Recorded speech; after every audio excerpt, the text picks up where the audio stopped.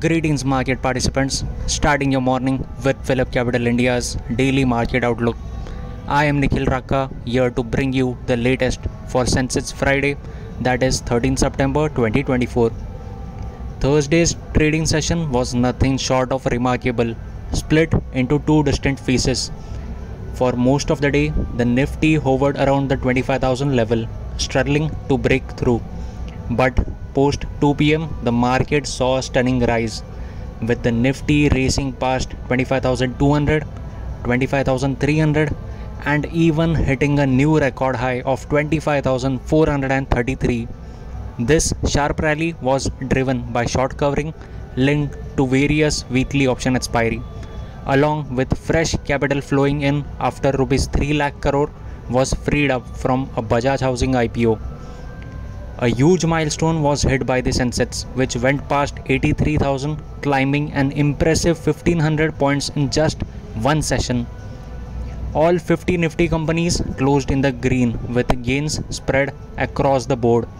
The top three contributors made up just a small portion of the index's overall rise, highlighting broad market participation.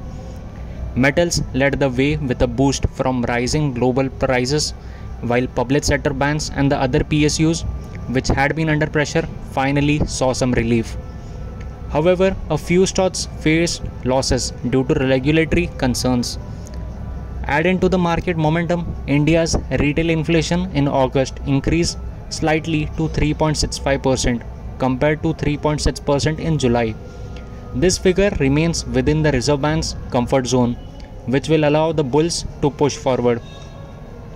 The Nifty is up over 2% for the week, heading for its best performance since June.